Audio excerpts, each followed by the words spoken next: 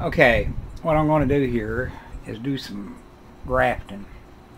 These here are Maxifort, Maxifort, um,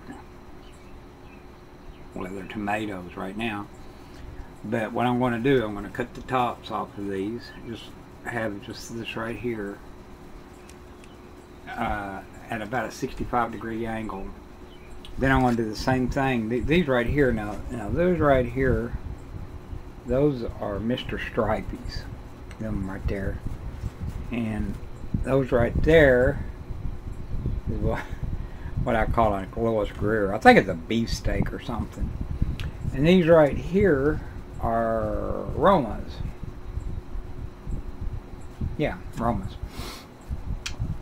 Them right there. Those are Romas, those Lois Greers, those are um, Mr. Stripey's. and what I'm going to do, I'm going to cut this leaf off and like that leaf off and just leave the main stem is what I'm going to do. Just leave the main stem with one leaf on it. And then I'm going to uh, throw the the tops of these I'm going to throw them off out because we don't need them. I'll probably whack them I'll whack it about right in there about an inch up or so. Then I'll whack these off about right in there but I'll keep the top and I'm going to put the top on that and I'm going to use these little clips here for little silicone clips. Here you can use super glue um, but I haven't ever tried it and this is the first time I'm doing this so I'm not going to use the glue this time.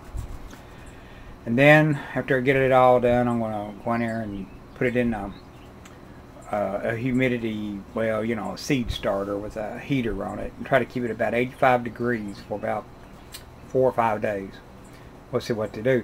You can believe it or not, but these things right here are only two weeks old from seed to that in two weeks. But most of it was in the hydroponics there, and it's really quick. But anyway, I'm going to get off this thing right now, and I want to trim all the, um, I want take a razor blade. I got a, uh, uh, broke a straight razor in two, and I want to cut, cut, cut all the leaves off of these things and prepare them to go over there. Uh, I've cleaned everything up with alcohol, so everything should be pretty sterile. And I'll, I'll get back when I get that, get all that in. Okay, this is what I got so far. I've cut the tops off of the uh, Maxiforts, and I've trimmed these things down. Um, so what I'm going to do, I'm going to cut these things off, and I'm going to put them over here. I would do it with the camera on, but I, I ain't going to way to hold it. I got a tripod, but too much trouble.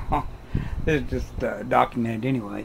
Anyway, I got those things at about a, about a 65 degree angle on the cut. I want to hurry up and get them on there before they bleed to death. Okay, here's what I've done. I um, they all fit. The stalks fit pretty good on all of them except for this one right here. And uh, the bottom was bigger than the top, but these right here were way too big, so I couldn't use these. But anyway, I got uh, two Mr. Stripeys and two Romas uh, that'd be good because I'm not really sure what these things are anyway.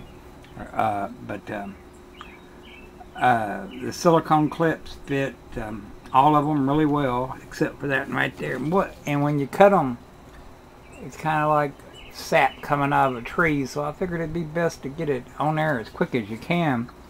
And I kind of hold it up to the sun there, and they look like they all got pretty good contact. Uh, but anyway, I'm going to put them in the little hospital thing I got made up. The little, um, they're going to get rural treatment here for um, the next four or five days, or probably a week. I'd, uh, if I get two of them to live, it'll tickle me to death.